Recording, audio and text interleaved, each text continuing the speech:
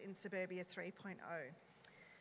Interestingly, in addition to his elected role, Councillor Treby is a Principal Policy and Strategy Officer with the state government in Western Australia, and he's a great person to have on our Strategic Advisory Committee and within our governance structure because he's a Fellow of the Governance Institute of Australia, a Fellow of the Chartered Governance Institute in London.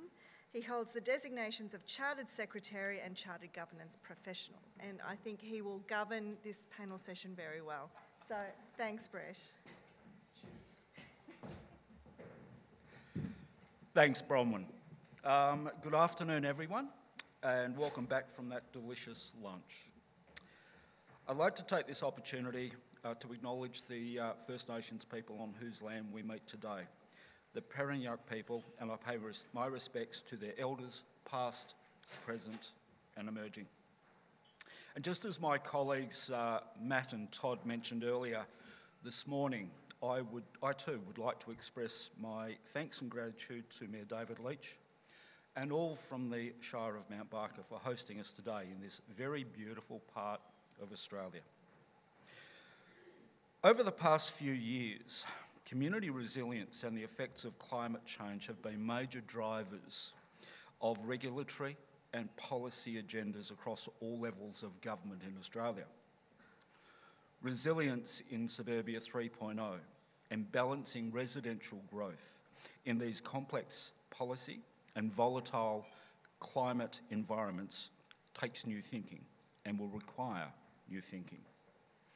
In many growth areas, as you will no doubt be experiencing, the least and sorry, the easiest and least constrained land has already been developed. Future growth will most likely occur in heavily constrained and challenging land typologies and future built form outcomes.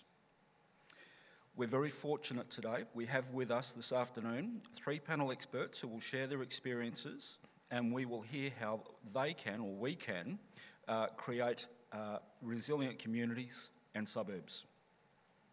So, for this session, let us consider a new suburb built at a rapid pace, filled with new residents in a new landscape that is inherently vulnerable, particularly as the frequency and intensity of natural disasters increases.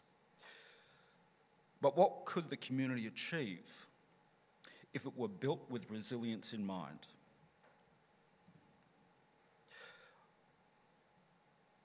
What if it were designed to respond to the country on which it was built and the future communities who will call it home and place them in the forefront of our considerations? We will hear three different perspectives on resilience being the goal when when designing and planning these new communities or economic activities, or when designing policies to be suitable to the circumstances of people they apply to. It gives me great pleasure to introduce our speakers today. Um, if I could call forward uh, Samantha Rich and Gavin Cotterill, and we also have joining us virtually Dr. Sangeetha Chandra Shekaran. Welcome.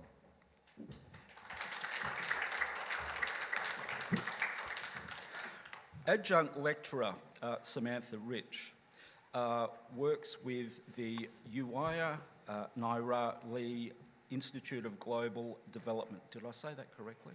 Or... Sorry, it's Yuwaya Ngarra-li. Perfect. You've done well. Samantha is a Wurundjeri designer and housing research dedicated to embedding First Nations worldview into the built environment. Her experience across diverse typologies of health, housing, urban design, and designing for country has developed her skills in culturally sensitive design and engaging authentically with First Nations communities. Welcome, Samantha. Gavin Cotterill, our second speaker, is the founder and managing principal of GC3 Digital. Gavin is an acclaimed digital twin expert trusted by public and private executives to develop world leading digital twin strategies and programs. With a career spanning three decades across the built and natural environments, he demonstrates a unique blend of policy, strategy, and business case experience. Welcome, Gavin. There's Sangeetha. Uh, Dr. San, uh, Sangeetha Chandrashekaran is joining us virtually. Welcome. Sangeetha is an economic uh, geographer who focuses on the political, economic dimensions of environmental change. She has researched the energy transition in Australia with a focus on social equity and environmental outcomes. Sangeetha is a senior research fellow on the Places program in Life Course Centre, where she is leading research into the relationships between place, inequity, and the life course. Welcome, Sangeetha. Thanks very much. Excellent. Um, so, without further ado, if I could call forward and introduce Samantha Rich. Samantha.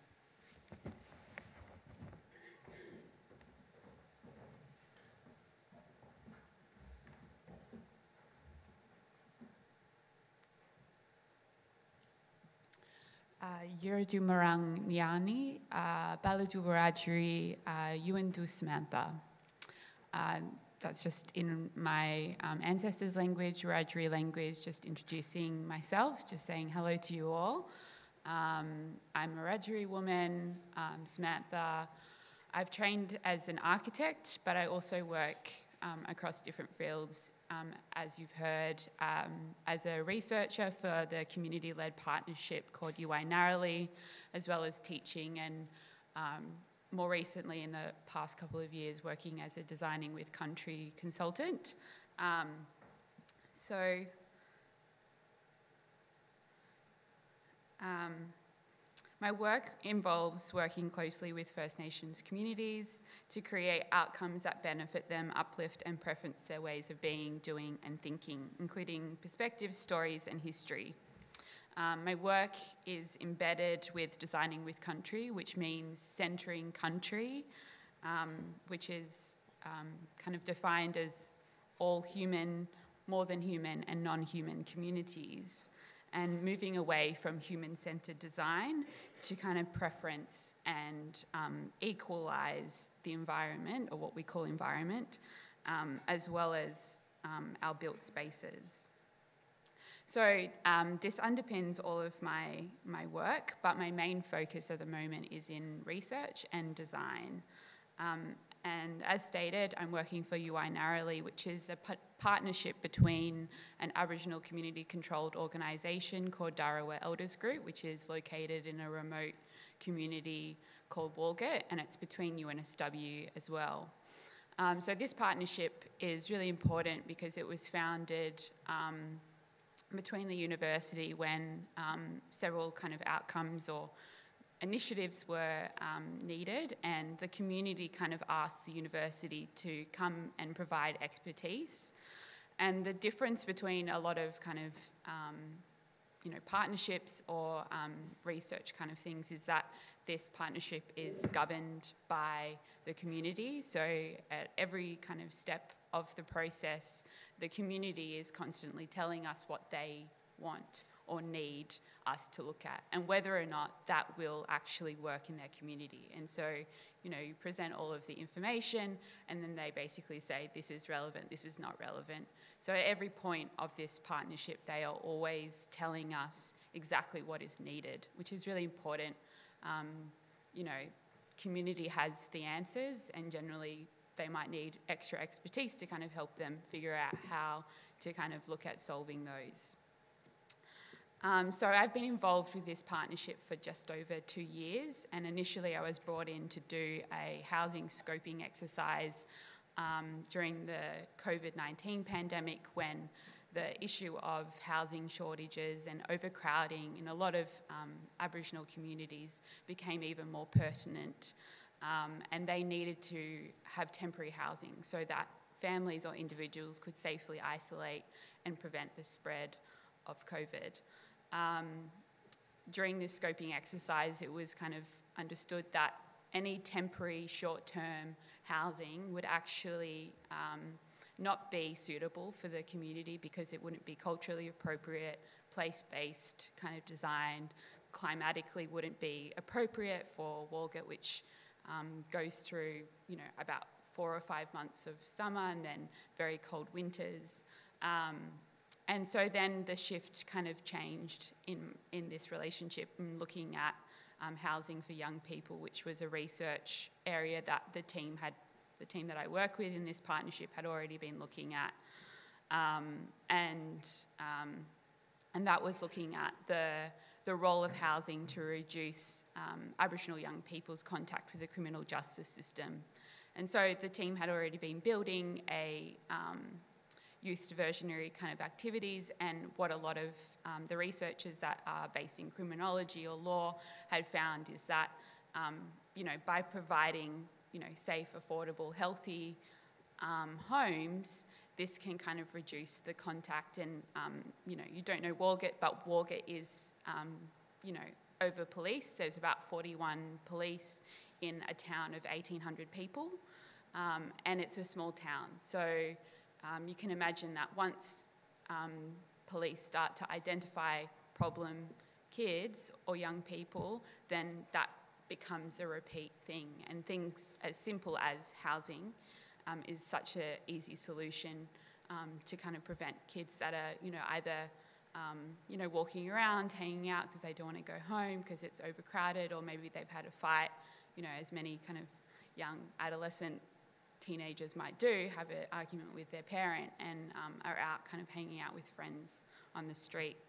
Anyway, so um, this is you know where the research is taken, and then also simultaneously um, looking at another housing need with this community partnership, which was aging well on country, um, and that basically looked at um, reciprocity, and so you know looking at these um, reciprocal re- relationships of care that are embedded in you know indigenous um, culture around caring for our elders, but also the really important thing of the knowledge transfer between elders and young people. And elders are entrusted with this um, responsibility to in, in, you know share their knowledge that they've um, that's been imparted to them to their community and to the young people so that the next generation have those stories um, and have that knowledge. And so, obviously, when you take that away, um, you know, that knowledge is lost, and also the culture,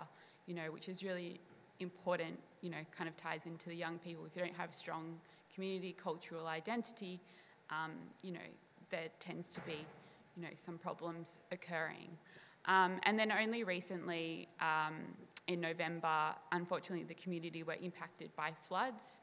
And so um, the research is now kind of taken to looking at um, emergency or crisis accommodation to respond to future disasters, but future crises that um, will, you know, uh, will impact them in the future. And because of, unfortunately, um, a lot of Indigenous communities are in situations, both social, economical disadvantage, which kind of put, places them in a higher likelihood of um, being impacted by, um, you know, climate uh, disasters, but also kind of other disasters.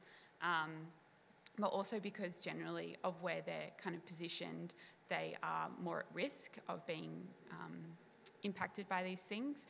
And so starting to look at what is a um, community led response to these types of situations, which provide agency and voice to um, community led um, organisations that are already doing really great work in this area and supporting them both in um, disaster preparedness but also in providing housing that can be, um, you know, supporting um, temporary kind of needs, but also um, if they do need to, unfortunately, in Walgett, outside of they have a levee bank to kind of keep water out, and the two villages where um, you know, during the process of colonisation, they were forced out of certain areas and put into these villages. And so now these villages where a lot of the community live are actually outside of the levee bank, so they're more prone to flooding because they don't have a levee bank um, to stop water from flooding their homes.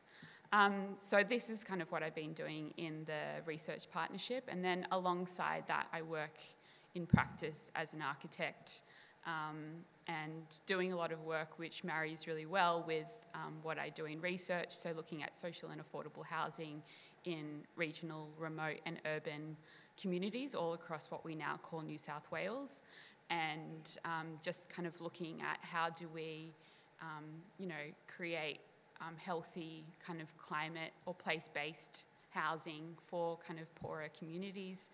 Um, and then how do we also, I guess, you know, from this perspective of country, how do we kind of design in a way that centres country at the, um, you know, in our design, in both like our processes, but also in our projects. And obviously, you know, I, I've done a lot of work in um, looking at traditional Aboriginal architecture, is that it's very place-based and it's responsive to climate and place and um, you know, I know going out to Wianamatta, which is Western Sydney, you know, you go out there and there's houses that could be built anywhere in the world. And so um, the problem with kind of building in a way that doesn't kind of consider that place and what's there and the climate means that, um, you know, kind of there's an impact later down the line and there's an impact on country because everything you put on country is um, then a part of it. And so then trying to, in my practice, um, trying to kind of teach this re- relationality and holistic kind of way of looking at um, design in spaces and buildings. Um, and uh, being a Wiradjuri woman, um, I'm really kind of propelled and um, driven by uh, Wiradjuri ways of being, knowing, thinking, and doing. Um, so two main ones in my work is um, Yindyamarra, which means um, means several things, and it's kind of more of a philosophy rather than um, you know kind of a single idea, but it's a way of going slowly, thoughtfully, respectfully, and with honour.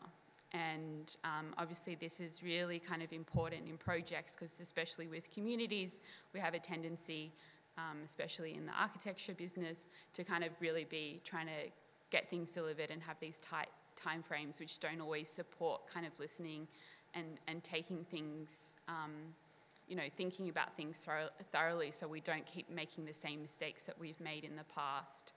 Um, and then further to that is um, which is also means several things, which um, it's to kind of act as a custodian or a protector. And most of my work that I do as a designer is not on my own country. So I need to always be acting in a way um, that is a custodian of that place, but also of that knowledge and treating kind of whatever knowledge um, that you know is shared with me through that project or any wishes by that local community with honour and making sure that it's protected and that I fight for what they want in that place. Um, but secondly, that word means to do the right way. And that can be enacting cultural protocols in my community so that, you know, I have a duty of care as a Wiradjuri woman, both to my own community, but to any Aboriginal community that I work with, to act in an appropriate way um, so, you know, doing everything that all of the other kind of ideas have suggested in, you know, um, being respectful of the elders, not forcing things in a certain direction, honouring what they've told me, and things like that. So yeah, so that's kind of what I do in um, in my work. Mandangu. Thanks very much, Samantha. I think it's probably also a good idea if we probably should have left you there and just you could have presented from there rather than Yeah. just chopping and changing around. It's after lunch exercise. Um, Gavin, if I could uh, ask you, and possibly if you can, oh, if you do have a microphone there, There should be a uh, presentation. it's up there. No, there's a presentation. Yep. Did you want to run that from? Yeah, please. No worries.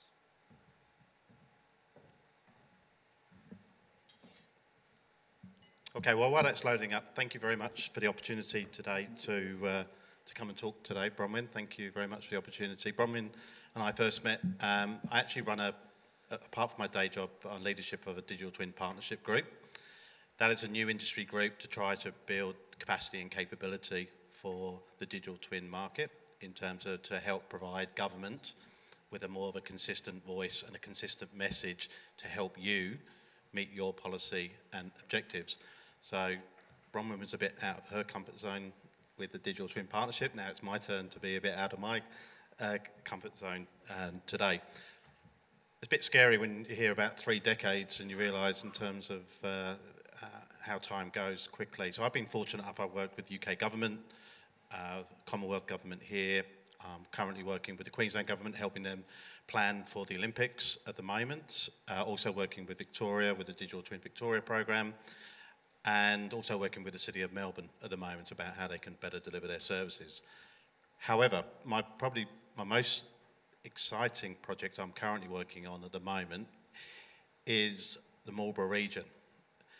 Has anyone not heard of the Marlborough region in New Zealand, or someone who hasn't had a glass of Sauvignon Blanc? Okay. So, 52,000 people.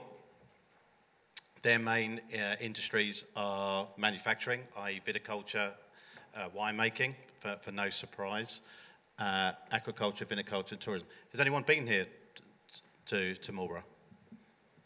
Yes, stun, stunning place. Marlborough Sounds, uh, absolutely uh, stunning they've got very different drivers and issues compared to, say, I'm working with City Melbourne or in terms of Victoria or the Olympic Games. They've got their own unique issues, and we're going to talk about resilience um, today. So um, we've been currently developing a business case and strategy for them, and they're looking to implement some tech uh, in terms of to help meet their policy and objectives. And really, that's my role, is to break down the tech the data, the digital component, and make it real from a policy and strategic objectives. I've failed if I haven't brought their uh, strategic objectives to life. Okay, and that's really important. So the three problem statements that we've identified working with Marlborough at the moment is leveraging data and information as an asset. I'm 50 years old this year and I still can't believe we're in a built and natural environment and we still treat information and data so poorly. We treat it like garbage. We, don't, we treat our physical assets better, but we need to be focusing on around how we focus data as an asset and to get value out of that because you pay for it time and time and time. The various different consultants that you will pay to do whatever, that will get redone, redone, redone. So we've got to get better in terms of how do we leverage data uh, as an asset, and that's something in terms of we're looking to do with them. They've got a Three Waters program, their water reform program. They want to understand in terms of how data can support them with that program. But really, it's the bottom problem statement. How do we manage resilience and recovery?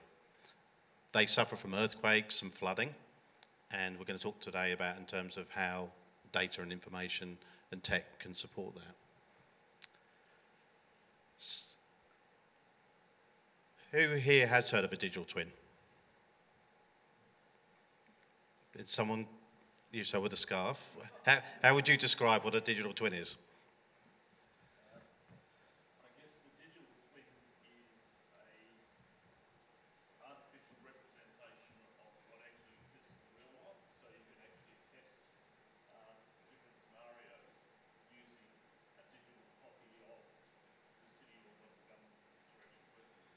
Yeah, that's pretty good.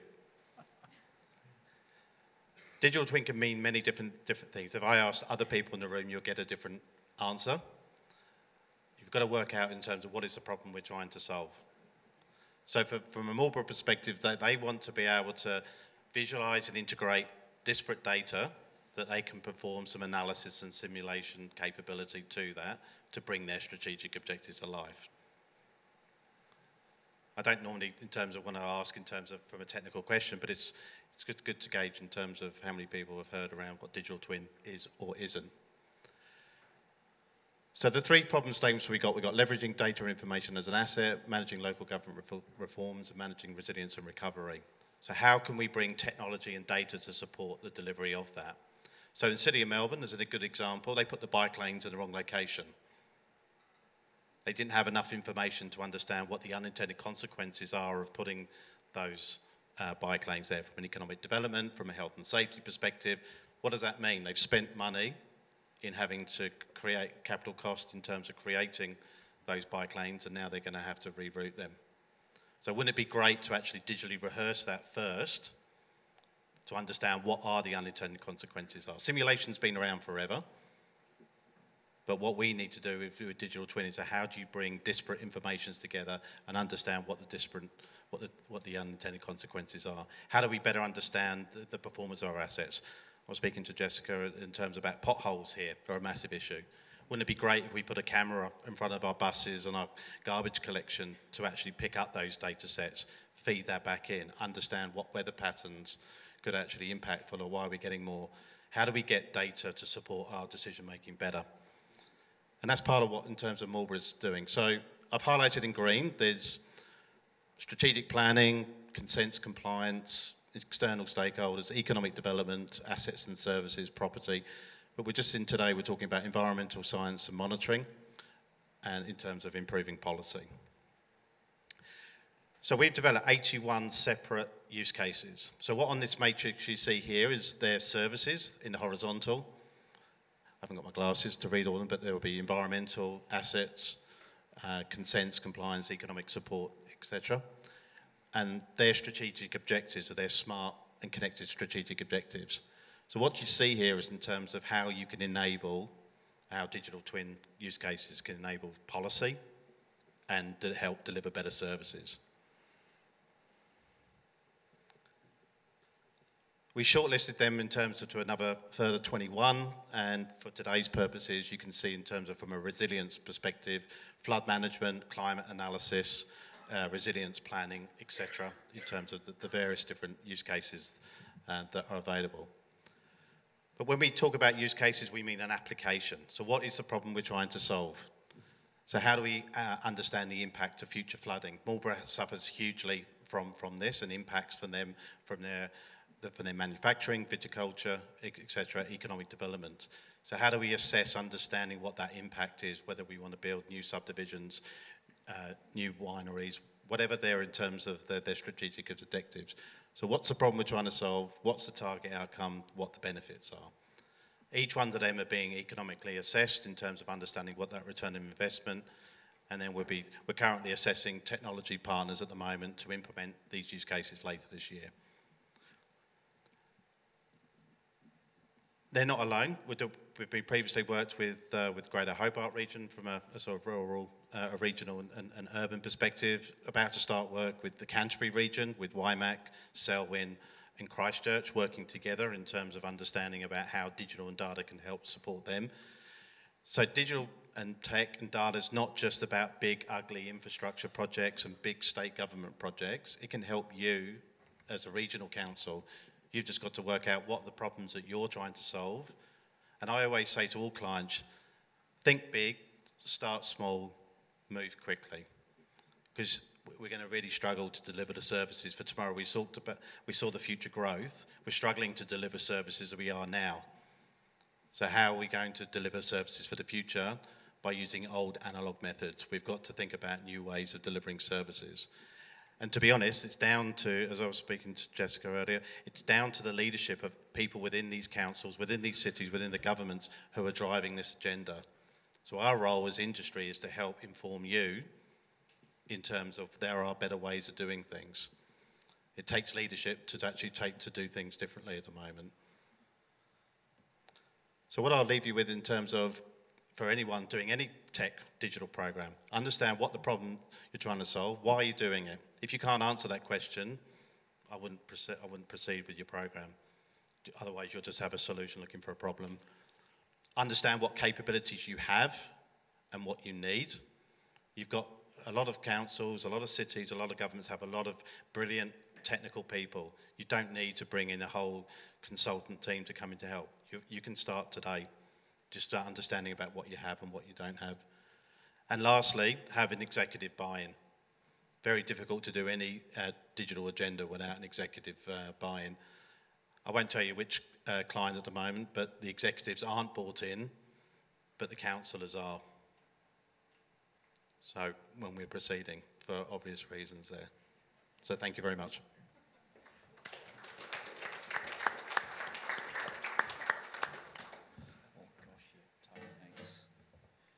Thank you, Gavin. Um, very enlightening, uh, tremendous.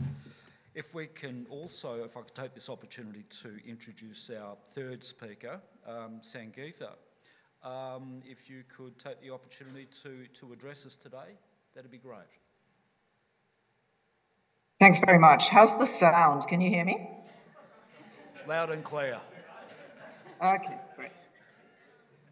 Um, thanks very much for the opportunity to talk to you, and I'm sorry I couldn't be there in person.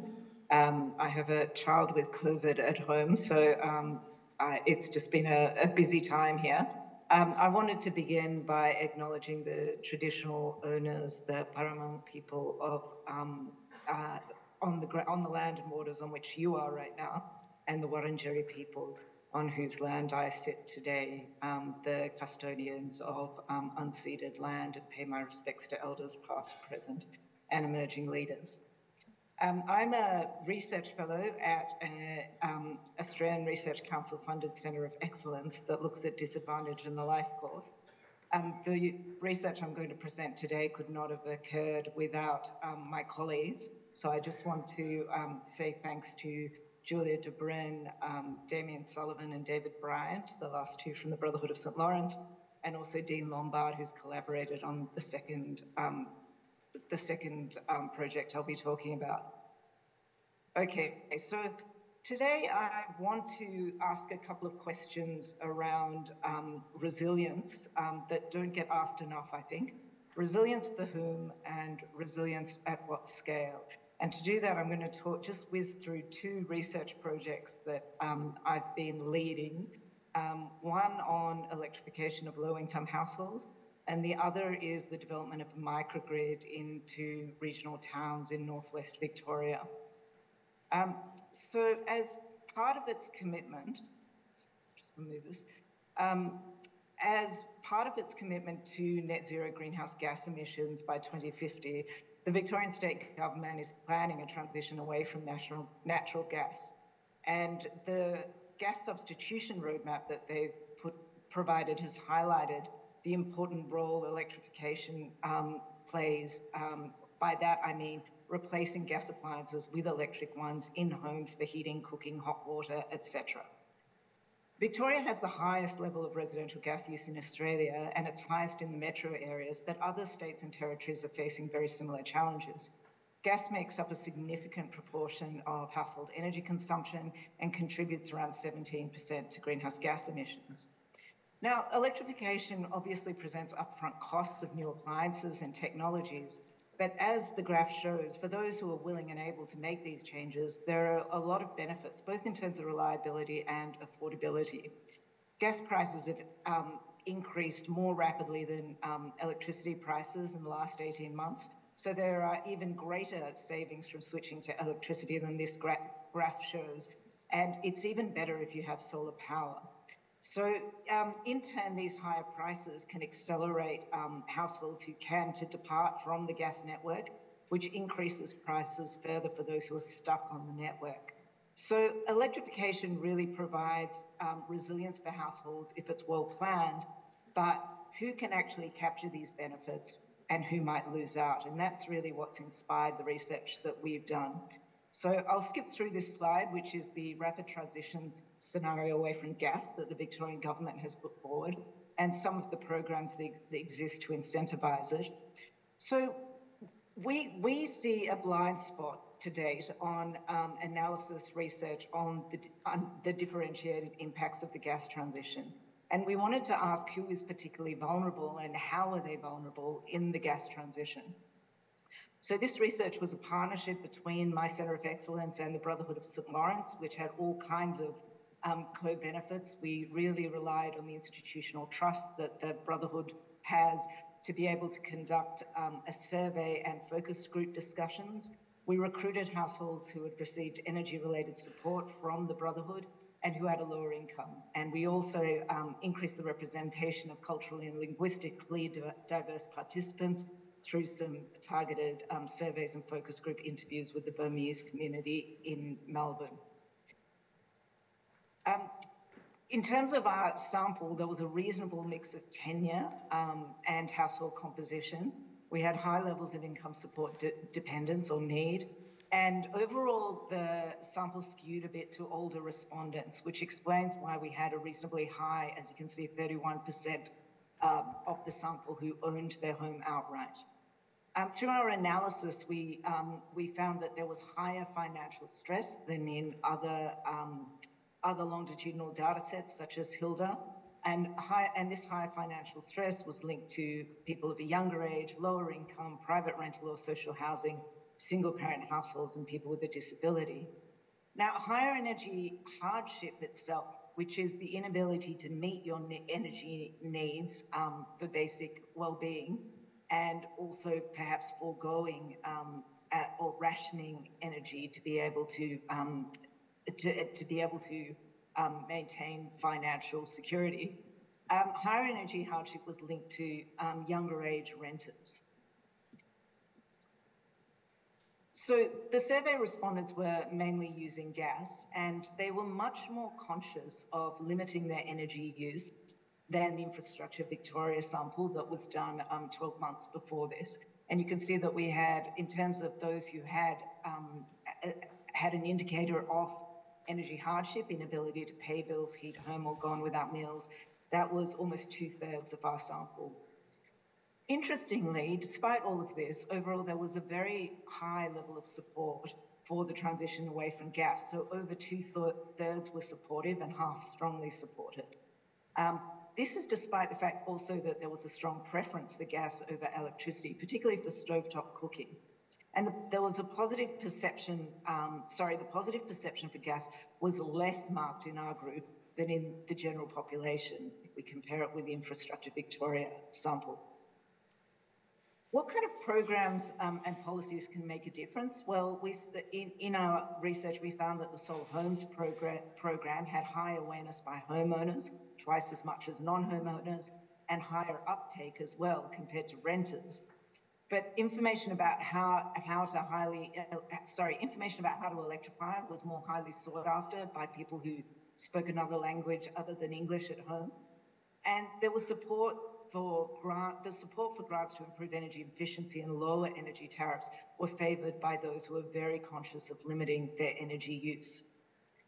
So in our sample, these can be described as people either experiencing energy hardship or somewhat vulnerable to energy hardship in the short to medium term. And there were others who weren't actually experiencing um, energy hardship, but they lacked the capacity to transition. And I can talk more about that if there are some questions. So for the first two groups, the inner circles, the barriers to electrification are just part of a set of financial and other challenges that they face. In terms of key findings, we will be releasing this report towards the end of the month. Um, uh, obviously, home ownership was the defining driver for electrification, and renters are really being left behind. Also, being able to have financial capacity, savings, and credit was a major um, enabler of electrification and we found very complex customer journeys through the process of um, shifting to electricity and away from gas. Um, and this requires much more attention to consumers' journeys um, as opposed to outcomes. In terms of resilience, um, the most vulnerable households um, need to be at the center of planning for the energy transition. And knowing who is vulnerable and how in different spatial areas is really key, and a lot more work is needed in this area. I'm going to very quickly now talk to you about another project that I'm working on, um, which is a feasibility study for microgrids in um, northwest Victoria. It's the two stars on the screen, so um, quite far out in the upper northwest, um, largely agricultural land. So whilst the geography and demography is very different to, to some of these urban growth areas, the, the increase in solar and batteries in this, this area and the desire for great, greater community control does have an analogue with growth areas, urban growth areas, which ha often have larger solar installations and are also facing network constraints. The question of whether there are more local and decentralized alternatives to costly network solutions is very relevant. So there's no official definition of a microgrid in the current regulation.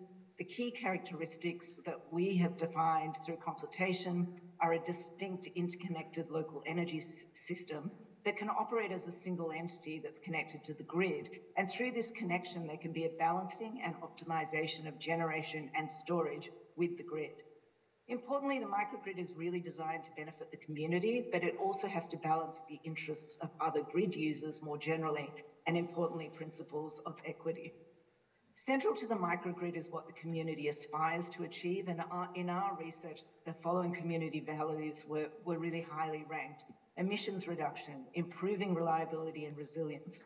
So this is an area where there's um, high bushfire risk and also recent flooding being able to manage energy costs, local ownership and greater control of energy resources, and supporting local economic development. And the communities said they really wanted more reliability and resilience, especially for um, essential services and, and to be able to um, service vulnerable groups in the community.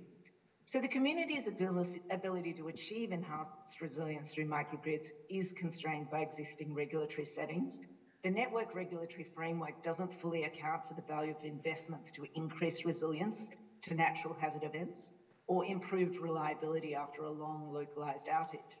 The costs of restoring supply after a major event can be passed through, but investment in resilience in advance to reduce those inevitable costs is not valued. So it, the, the network regulation does in, incentivize investment to meet reliability standards, but not this kind of proactive um, uh, uh, resilience that people are trying to create through microgrids. So we need to better understand in this, um, in terms of microgrids, the value of local benefits from local coordination of energy resources.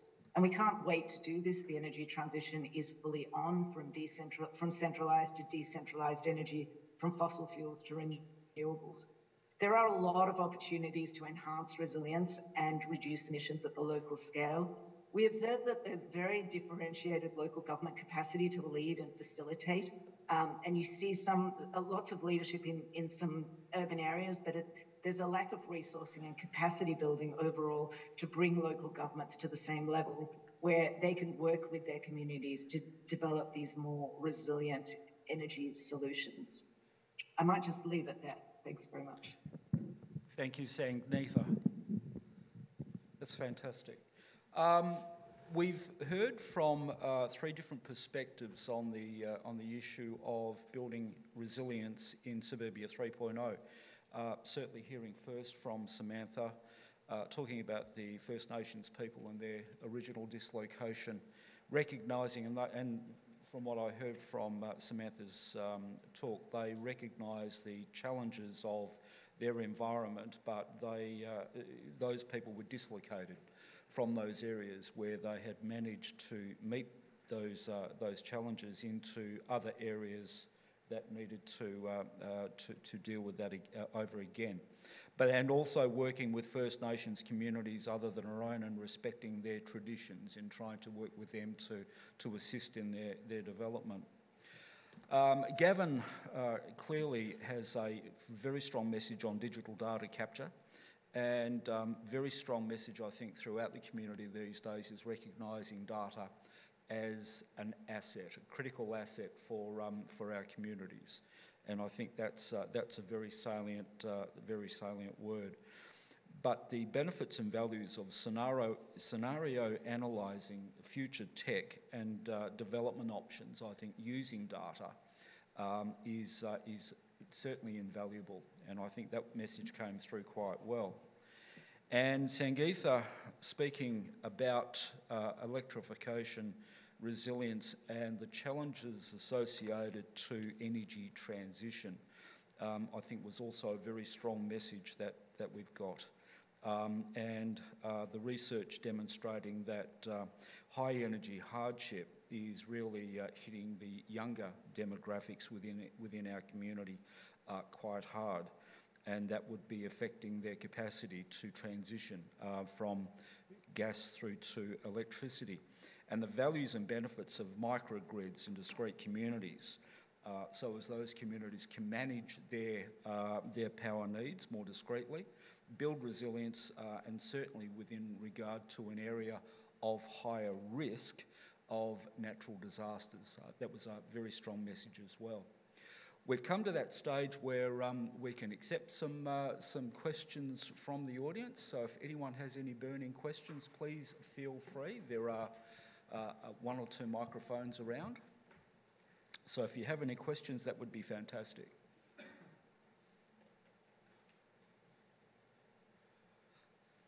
Stephen. Thanks, Brett, and I'm very pleased to hear this topic, particularly around energy resilience. It is one of the defining things that will change Suburbia 3.0, I, I think, the next, uh, next 10, 20 years. Gavin, I'm keen to understand from your modelling, have you considered the issue of stored energy in any of your uh, suburban projects? I say that in the back of federal government projects now which are looking to provide regional scale or suburban based batteries. We have a number in communities in Perth. There's one going into the city of Swan at the moment. I know there's one in the city of Kwinana. But have you looked at that as a, as a tool and what does it tell you about improving the resilience when that, that goes in? I note that one of the more interesting challenges for us has been that communities designed a bit like NBN. NBN was retrofitted where do you find the box to put NBN? When you're going to find a location to install a, a big power battery in a regional uh, suburb, you've got to find a location for that. So have you done any modelling uh, around it and what is it telling us about the future of energy use and storage for the future? Yeah, there's a quick answer to that in terms of the, the actually the energy sector in terms of from a, a digital twin perspective and scenario planning isn't that joined up there in terms of compared to some of the other uh, sectors, whether it's infrastructure, water utilities, city planning. Um, it's been very much discretional in terms of in-house. Essential energy is probably in New South Wales is probably the most advanced, um, but we're not seeing again. We're not. There's a there's a chap called Patrick Bossert who came from the UK who who, who led the digital railway work, and he's been leading the work in, for, from Essential Energy to, to look at that understanding of stored energy in, in terms of from that. So the, the message is, is in terms of we're not getting enough leadership within organisations to understand about how digital and data can help drive better outcomes, whether that's through scenario planning in terms of whether it's from better analysis, understanding the performance of, of, of current assets. So again, it goes down to, from a people perspective. We talk a lot about digital data, technology, etc. But we need leaders within organisations to to take this on board to realise there are better ways of, of, of doing things, and that goes for any organisation. Doesn't have to be just from an energy perspective. It could be from a, a regional council, uh, a metropolitan council, state government. Um, we need we need to demonstrate in terms of better leadership within these positions to, to, to do things better. Thanks, Gavin. Are there any further questions? I have a couple myself. Um, Samantha, um, the last census showed us that there were more Aboriginal and Torres Strait Islander people living in outer suburban areas in our council areas across Australia, and certainly in every capital city with the exception of Brisbane. What is a policy or practice shift uh, local government could make or advocate for that would lead to resilient First Nations communities? Um, it's a big question. Uh, I, I guess I think it's about, um, you know, kind of having policy that supports um, I guess, you know, the conversation around the voice is kind of talking to communities a bit more about what they actually want and need. Um, and I would actually say that unfortunately um, that census wasn't always correct. I know um, just to advocate for the community that I work for, um, you know, they're not already always going out and um, getting community people to collect that information, which means that it's not always collected in the right way. And because of the history of this country, there's a distrust for government around um, providing information and you know data sovereignty issues around how that data is collected and then how it's shared with community. Um, so just kind of as a preference, um, I would say that there's probably more than what is even evident within the census because of the way that it's conducted. Um, so I think first and foremost is like putting in policy in place which um, you know, has data sovereignty for communities so that, you know, in terms of funding for things that communities need, it's actually reflective of what that community looks like. Um, and then kind of, um, you know, pushing back against things that we have around just kind of delivering the same thing for every person. Um, you know, I speak from one perspective of a community um, where there's quite a diverse and multitude and complex um, opinions, cultures, um, and ways of acting. So I think just kind of, yeah, um, supporting that kind of diversity is really important in you know all of your regions that you're kind of working in. Um, it's not kind of a one size fits all, and I think that we make that mistake in too many aspects of how we operate in any kind of business. I actually like that answer. I think the, the practice shift message there to the federal government is it isn't a one size fits all model if you're getting that census data. It should be sympathetic to all of the community and, and community types out there. I think that was a, that was a very good, good message coming out of that. Thank you. Um, Gavin, when is the right time for local government to, to incorporate digital twins in their aim for resilient suburbs, economies, and, and, and communities? How can local government overcome some of the big barriers to working with digital twins, such as capacity and cost, especially smaller councils who are just beginning their, their growth journey? Yeah, it's a good question. We have this we have this question a lot about in terms of how does this apply to me?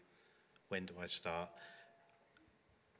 Typically, in terms of tech programs, just seen as another IT project, and it becomes another line on the balance sheet that are going through constraints at the moment, and it just becomes things. So, typically, what you need to do. So, for, for example, with City of Melbourne, we've advocated that you um, add the, the digital twin program to Green Line. So it becomes more of a political, so in terms of that you need to demonstrate that value proposition. So you get out things out of PowerPoint into, in, in, into reality. So what is your pain point? So if, for example, another one with Melbourne is shopfront vacancy uh, reduction, which is reducing their rates. So we've developed a use case in terms of how we could test certain policies because Melbourne's moving from a, uh, a dual daytime nighttime economy and it's moving into more of a nighttime economy. So how can you repurpose some of those empty shops now into into something else and testing those scenarios rates uh, in terms of, that's from a rates perspective or from a, a graffiti perspective and cleaning perspective? It needs to tie into the problems that you're facing at the moment. Um, even with the Olympics at the moment what we're doing with with with we're thinking about just implementing three use cases to start. So mm-hmm. just doing some testing now, focusing on from a planning perspective. So it needs to tie into whatever strategic objectives that your your pain points, whether it's economic development. Um, but typically, councils focus on better service delivery. They're less focused on capex and opex, but around better service delivery. But if I was working with a client, working with Sydney Metro, a big, massive, they'll be focusing more on capex and opex. So for, for local government, it's around how do I better deliver services to the public. That would be my advice in terms of uh, to start. Excellent. Thanks, Gavin. Um, at Sangeetha, can I um, pose you a question? Uh, when so much of what causes inequity and poverty is shared responsibility, as in there's no one single fix, no one magic bullet, do you think there is an increasing role for local government in equipping their communities to be resilient? Um, absolutely. I think just from the conversation we've been having, whether you're talking about new energy technologies like batteries and solar or electric vehicles, or you're talking about the needs of First Nations, the diverse needs of First Nations in different urban and non urban settings, it's really important to understand the diversity of needs and the complex households and communities that are out there. And local government understands that better than the different tiers of government. The problem is, though, of course, that there are jurisdictional issues, there are capacity issues, and there are resourcing issues. And local government, many local governments are, are overwhelmed by the existing pressures, um, whether it be around service delivery or investment, etc., that they face. And then you bring in new challenges, like, for example, local community energy aspirations, or um, well, that being the first example. So then the pressure is on, I think, local government to be able to understand how they can play a role to enable community aspirations. And I can see um, in the project that we've done, how that really puts um, shines a spotlight on local governments because essentially the private models for trying to deliver community energy or the um, private retail models, for example, or the distributor-led models have all kinds of issues associated with them. And what you really need is a not-for-profit community organisation and or a local government enabled um, community organisation that can deliver these public benefits to the community based on their needs. So I think there is a growing need for um, local government to be involved um, in the energy transition, but I think there's a big conversation to be had about how to build capacity um, for local government to be able to do that, recognizing that there is lots of leadership out there, but um, it's, it's uneven. Excellent. Thank you for that, uh, for that uh, response, Sangeetha. Are there any further questions from the audience at all today? Oh, down the back. Fantastic. Thank you, um, uh, Dr. Sangeetha. Um, Karen Sherry from Hume City Council. And this is more of a comment. And because the Victorian government have, in conjunction with the federal government, have got some good rebates going for things like replacement of gas hot water with electric heat pump hot water systems. But I think that people aren't aware of them. Uh, and, you know, you can generally, it, it will cost for a family sized system, say 265 litres, most retailers that are selling these units will probably you, you you could probably end up being out of pocket $950 but i think that that is quite a large sum for a low income family or for pensioners or you know home owners of rental properties might balk at that. So what are your suggestions if i can put that on you yeah, um, it's, a, it's a really good question. So our research showed that there was um, the power saving bonus, which is a $250 cash payment that was given to households to try and um, account for some of the increase in electricity price rises. There was a high level of awareness of that. But when it came to some of these appliance replacement programs, like the Victorian Energy Upgrades Project program or the home heating and cooling upgrades program that's means tested and targeted at lower income households. Um, only a third of our sample um, were aware of it, and even um, less had actually taken up those opportunities. And I think you're getting at some of the reasons why. So, first of all, homeowners are much more likely to be able to recoup the benefits of this because they're in one place for a sustained time and they're upgrading um, with potential um, resale benefits down the track, but also just everyday benefits. But renters are really the group that are most left behind. So these programs are available to renters, but the, up, the awareness and uptake was even lower. Um, uh, uh, rental providers or landlords um, are generally a bit slow to take these up, and we had um, we had people in our focus groups who weren't aware of these programs when they came up, um, and then when they were, they told their rental provider, um, and they still had reluctance to be able to, to um, take up the program and install the new appliance. So this is the, the, the ongoing issue around renters and the split incentive problems. Um, there's uh, real issues around, um, around people's capacity to um, invest. And so we think there need to be uh, there needs to be a real ramping up of um, no interest or low interest loans for um, rental households to be able to encourage their rental provider to be able to invest um, uh, whilst they recoup the benefits. There are also a couple of other different models um, that allow the um, the the that allow the cost of these programs to be taken off the um, council charges, for example, um, and I think they could be explored more. But really, what we need is a large-scale um, retrofit program for lower-income rental um, properties um, across the country. Really, social housing has a series of problems as well but at least that has been recognised, and there is an attempt to upgrade um, social housing as part of the um, Victorian Big Build, for example. But it's really renters in low income housing who are left behind, and there needs to be a lot more policy innovation and resourcing and capacity building um, focused on that problem.